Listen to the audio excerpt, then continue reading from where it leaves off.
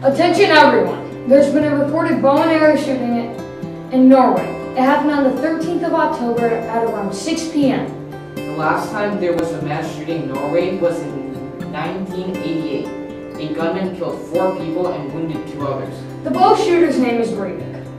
The man fired arrows at shoppers in a small Norwegian town. He killed five people before being arrested by authorities. Authorities don't know precisely what motivated the shooter, but they inferred it was an act of terrorism. He was sentenced to 21 years in prison. The low violence in Norway is vastly different in Illinois. Comparing violence in Illinois to Norway is very alarming.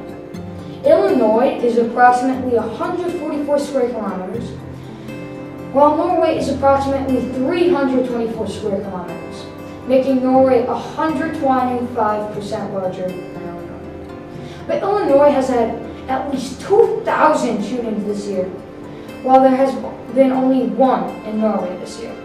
In fact, there has been one mass shooting in Norway for the past 30 years. Also, the population of Illinois is about 12.8 million people. Norway has around 5.4 million people. Did you also know that authorities before this incident didn't even carry firearms? Currently, authorities can have a concealed carry firearm on them.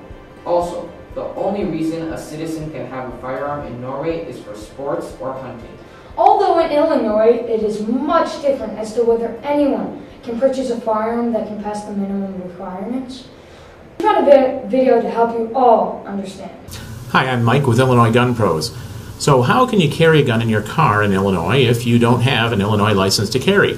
Well, that depends upon whether you're an Illinois resident or not. First of all, non residents who possess a valid concealed carry permit from their home state are allowed to have a loaded firearm in their car. In other words, non residents who are licensed to carry in their home state can carry, but only in their car. Illinois does not recognize concealed carry permits from other states beyond that. What if you don't have a permit? Well, whether you're an Illinois resident or a non resident, the law gives you three options for having a gun in your car. Your gun is transported legally in your car if, number one, it is broken down into a non firing state. So if you disassemble the gun, you're fine. Or, number two, it's not immediately accessible. This one's really vague and open to interpretation. Most police officers will use the rule of thumb that it must be out of arm's reach, but don't count on that. Some police officers will tell you that they interpret this to be the gun has to be in the trunk but that's not exactly what the law says. The third option is very clear thanks to the Illinois Supreme Court Diggins decision. This says that it's legal to possess a firearm in your car as long as it is unloaded and enclosed in a container. Now, you can have a loaded magazine with the gun, but it must not be in the gun. A loaded gun is a felony, so don't put the magazine in the gun without a license to carry. And remember, the container must be closed. So what is a container? Well, a glove box or the center console of the vehicle both qualify as a container. So what if you're an Illinois resident and you don't have an Illinois license to carry? Keep the gun unloaded and keep it in a container. Then get yourself to an Illinois concealed carry class and get licensed. And now a message from Norway.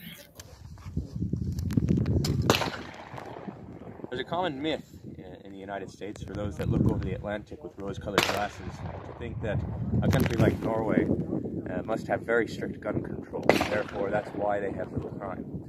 But the fact is, Norway is actually one of the has one of the highest ownership of weapons per capita in the world. What does this tell us? This tells us that guns in the hands of citizens doesn't mean increased crime or increased murder. When you have a population like Norway that holds as many weapons as it does but still maintains a low crime rate, there is no correlation there. Correlation does not mean causation, as many on the left would purport and, and have us believe. You look in the United States, for example, cities like Chicago, Detroit, New Orleans, Washington, D.C., these cities that have the strictest gun control laws that, are, that exist in the United States, yet somehow they also have the highest crime rates in the country. Then you go to the states and cities that have the highest gun ownership, and they're often the ones with the lowest crime rate. Firearms in the hands of private citizens does not translate into higher crime within that citizen. What that does is it gives people the tools to protect and defend themselves against someone breaking into their home or against a tyrannical government. What it doesn't do is translate to higher gun crime. I hope those videos helped you understand the difference in gun regulations. We hope you see why Norway is way safer than Illinois. This has been the first shooting in Norway since the late 1980s. Meanwhile, Illinois already had over 2,000 shootings this year. With that, we hope you enjoyed and learned about this segment. Penguin Plus Pro, Signing out.